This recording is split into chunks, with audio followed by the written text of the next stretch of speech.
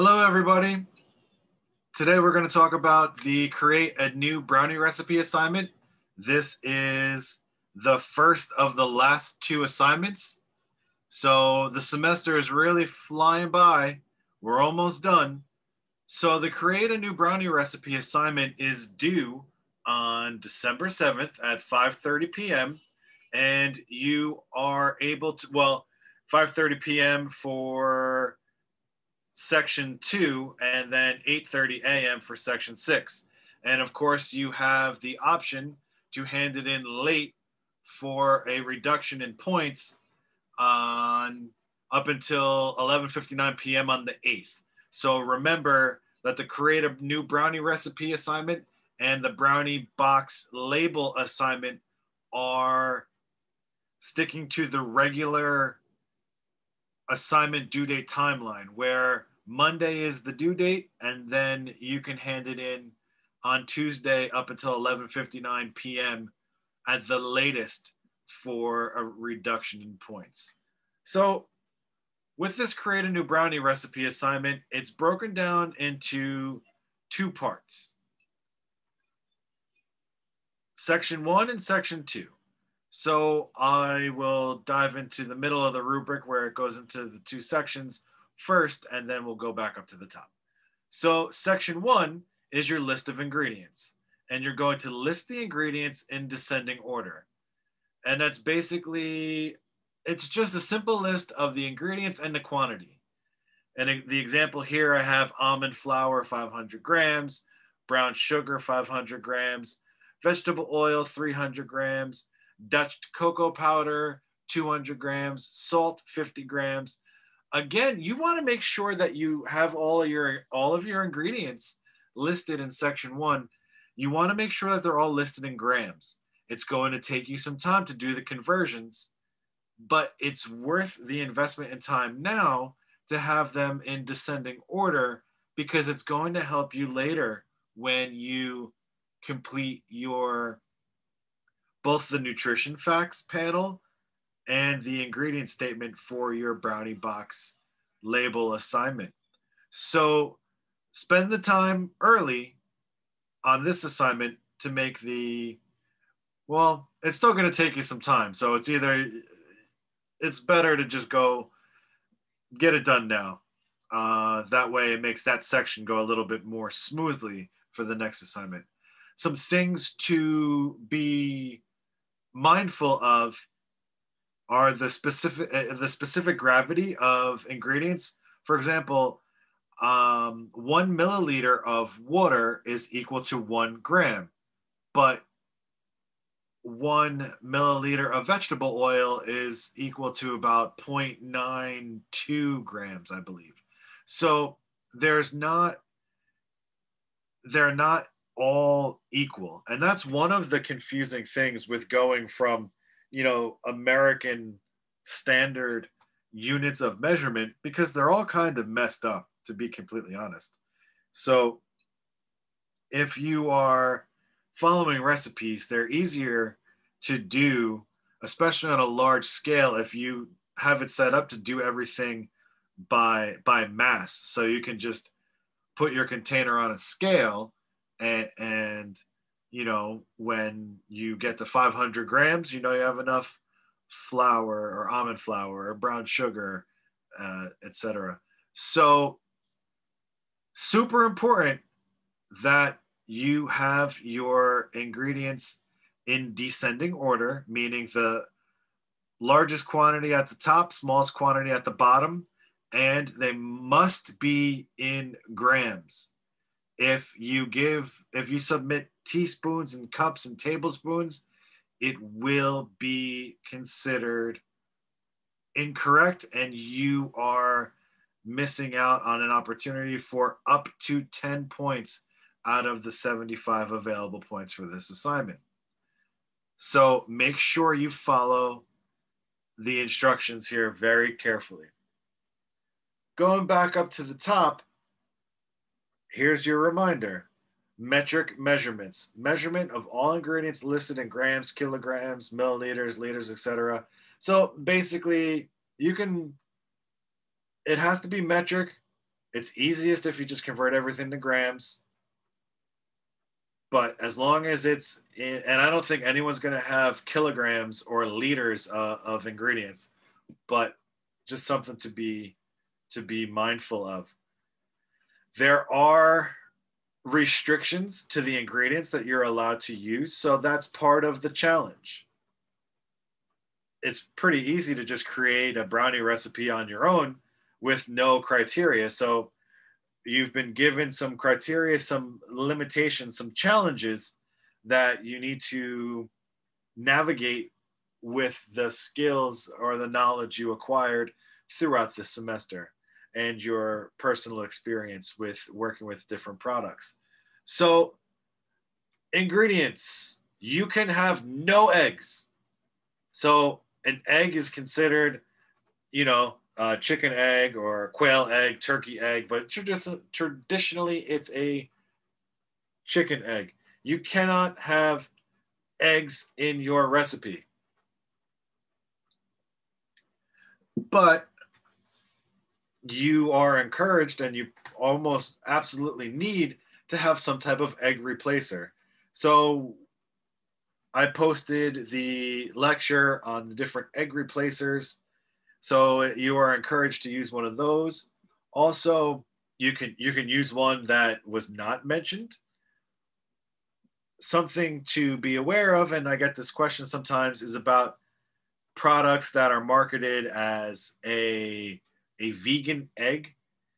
You could use that product as long as it doesn't violate any of the other restrictions. So you can use anything as an egg replacer as long as it doesn't have milk, gluten, soy, or peanuts in it. So typically, a, a, vegan egg replacer may have soy in it. So if that was the option that you wanted to use, you would not be able to use it because you would lose five points for having soy. So if you put eggs in your recipe, you lose five points. Uh, let's see, down to the next one. No milk. No milk containing ingredients included. And I say here, remember the definition of milk is a lacteal secretion from an animal. So almond milk in quotes, almond beverage, cashew beverage, oat beverage. These are all perfectly acceptable. Again, soy is not. So a soy beverage you would not be able to use. And uh, all right, so moving on. another thing to be aware of with the milk is that means that in your chocolate in your i said it before i finished the my thought in your brownies you cannot use milk chocolate because milk chocolate contains milk uh, moving down to the next ingredient restriction no gluten so if you use a flour that contains gluten you will lose five points. So try to not use a flour that contains gluten. For brownies, they are probably one of the most forgiving things because there there are recipes that you could almost not need flour to begin with, and you would still have a a brownie, a desirable brownie texture.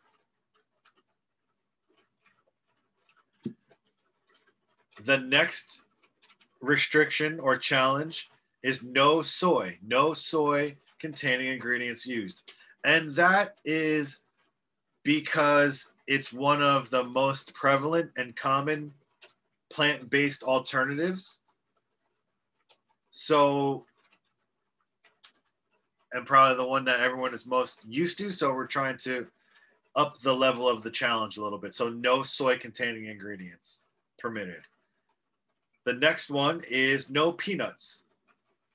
So no peanut containing ingredients included. So if you wanted to do a peanut butter swirl in your brownie recipe, you couldn't use peanut butter, but you could use almond butter or some other nut butter that would have a similar desired effect, but you can't use peanuts. Something that I need to make clear again is that you are not actually baking this recipe. This is a recipe that you're creating. It's just a tabletop exercise, if you will, a thought experiment. You don't have to actually bake these. You should not actually make these unless you really wanted to, but it's not for you you would bake them for yourself not for the class so i don't actually make them again it's a thought experiment it's a theoretical brownie recipe that does not include these one two three four five ingredient categories. So it's an opportunity for you to showcase your knowledge on how you can make a product with these substitutions. So, what you could and should do is look through the internet. Uh, I was gonna say, look through cookbooks, maybe look online, find recipes that you like, take bits and pieces of the recipes. That's especially helpful when you're looking for quantities. If you're making, so if you're making, say you're making a brownie that has zucchini in it, you wouldn't necessarily be restricted to finding a zucchini brownie recipe. You would just want to find different brownie recipes and figure out how you could, what the right amount of zucchini would be to incorporate. Or a very popular one, or is, it's been popular, I guess, for the last 15 years or so, are the black bean brownies. So you could look at different recipes to see how much you should put in. Usually recipes call for a full can of black beans, but a lot of times if you don't do it right, your brownie's going to taste like dirt. Uh, I'm sure some of you have figured out a way to make a whole can of brownies, a whole can of black beans taste good in a brownie. But in my experience, usually half a can or a cup is enough to give beneficial characteristics to the structure without imparting a bean flavor or an off-putting flavor. So section two, section two is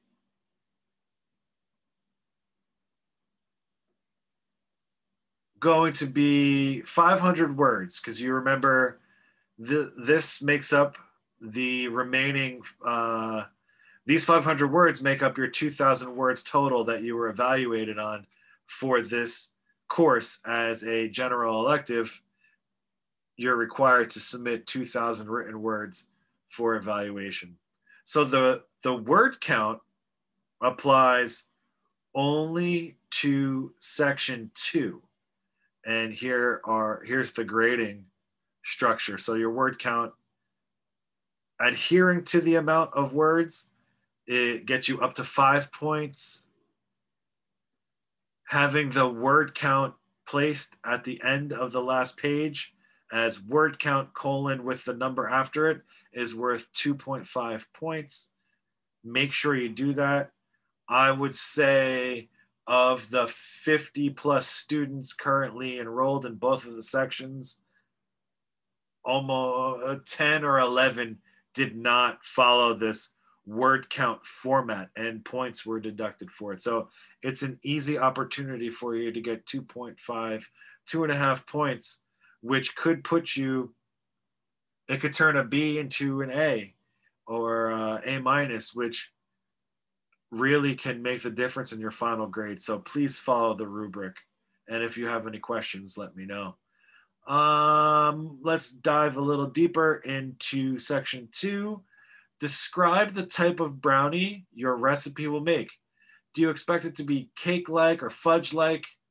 If you look online or if you look on boxes of brownie mix, uh, a lot of times they have two different preparations. They'll have the standard preparation, and then they'll say, if you would like your recipe to be more fudgy, then alter the amount of water and reduce the amount of eggs. So typically, cake like has more water to oil ratio and has more eggs in it. And fudge like has less water to oil and fewer eggs. So cake like has two to three, and fudge like would have one typically from two as the as the average, and that's looking at six or so different brownie mixes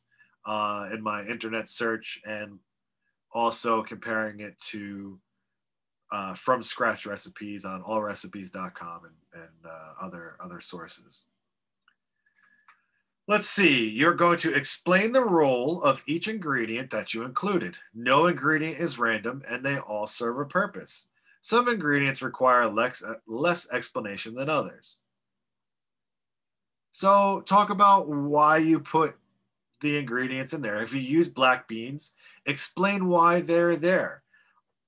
You know, uh, if you use bananas, you could, you know, there to impart flavor, texture, moisture, uh, act as an egg replacer. If you put chia seeds with water to form a gel, it's acting as an egg replacer. So explain why you're using each ingredient. That's part of the demonstration of knowledge on the role of the ingredients. Make sure you clearly, clearly identify the ingredient or ingredients that you're going to use as a leavening agent and how they contribute to the fi- finished product. Are you using baking soda? Are you using baking powder? Maybe a sentence on what the difference between the two is would be a, uh, beneficial, again, to demonstrate your knowledge. Every year, two or three students do this so I'm going to say it again as a as a little reminder so there are no surprises. Yeast is not a leavening agent used in brownies. It's used in yeast breads, like the lab demo that you observed about bread, yeast bread making, but for brownies, yeast would not be accepted as a leavening agent. Okay, so typically you're looking at baking soda or baking powder. Make sure you clearly identify the ingredients used as a chocolate source and how they contribute to the finished product. Are you using dark chocolate, semi sweet chocolate, are you melting it down and then adding it to the mix? Are you using a dry cocoa powder? If you're using cocoa powder, are you using unsweetened cocoa powder or are you using Dutch processed cocoa powder, which reduces the the bitterness and also lightens the color a little? Uh, well, it makes it look darker. I, I, I reversed that. I'm sorry. So unsweetened cocoa powder almost has a reddish tint to it, and Dutch will be a little bit darker because it's processed with uh, an alkaline um, ingredient to slightly raise the pH, uh, raise the pH to make it more on the basic, more toward a neutral pH, where unsweetened cocoa powder has a lower pH. It's it's more acidic.